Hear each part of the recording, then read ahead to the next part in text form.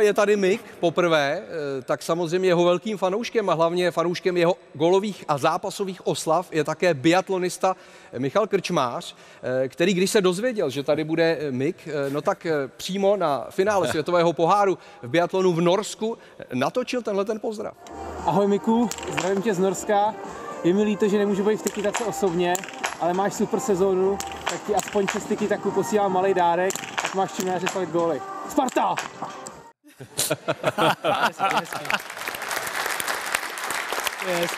Tohle je ten malý dárek. Bimbova jedenáctka. Soudek piva, to je pro tebe.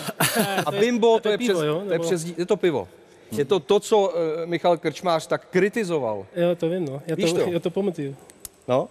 Eh, zaznamenal si tu kritiku a vlastně ty debaty na sociálních sítích, že pivo by se nemělo během sezóny vůbec konzumovat, protože ty si řekl po jednom zápase, že to oslavíš po Česku, že si dáš pár piv? No, za mě je to jako úplně normální, když dáš jeden piv uh, za uh, já jenom, že se tady bavili o, o tom, kdo... Tak pro, pro tebe je tohle normální ne, za... já se bavím o tvé řeči, jako, že se tady něco nastojilo. Tak Ale pokračuj, jeden piv... v holandštině, Petře. Jeden piv není špatný. Není špatný potom, uh, potom zápas, ale uh, samozřejmě al- alkohol, drinky jsou, uh, není dobrý pro tělo a všechno, všech, uh, všichni to, to ví, a, ale Jedno pivo. To bylo, to bylo jenom nějaký sranda, no. To, Jasně. Jo. A je to, je to tradiční u tebe, že když se povede zápas, dáš gol, tvůj tým vyhraje, takže si dáš jedno nebo dvě piva? Maximálně. Tři ne už? Ne. Tři ne. Vůbec, ale no, fakt. No tak Michal Krčmář si nedá ani jedno, on to říkal, já to nechci tady jako rozpitvávat, on říkal během sezóny, že to neexistuje, Eh, tak mě zajímá, jestli muzikanti, že ty mají sezónu pořád. Petře, že byste si řekli, teď máte turné celoroční, že během turné prostě ani kapka alkoholu. U nás je to jinak samozřejmě, tak to nehlídá. A záleží na každém zvlášť, jak se to pojme, ale my máme určitý vzpomní podmínky a v nich je třeba, že máme na stole, kromě vína, máme tam přímo odrůdu, jako chceme, mm. tak tam vždycky flašku tvrdýho litrovou. No a často ji vypijem, no, tak během toho. A ne pro každého, dohromady. Ne, samozřejmě dohromady. ne. Ale u nás se nějak moc nepije, nepřehání se. To. A prošlo to nějakým nás... vývojem, prošlo to vývojem za těch 60 let? Já myslím, že to je čím dál tím slabší.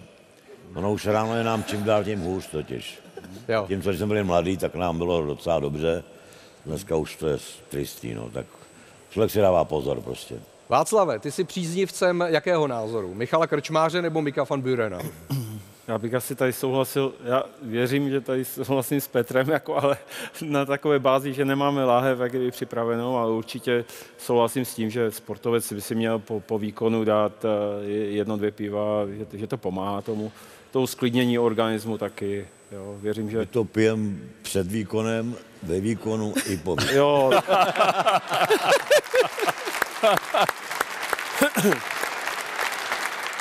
Eliško, jak to v ženském fotbale?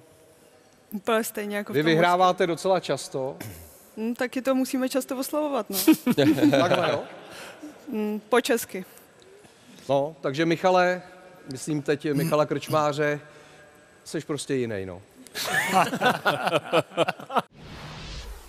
Sledujte kanály O2 TV Sport, kde najdete další zajímavé ukázky a rozhovory.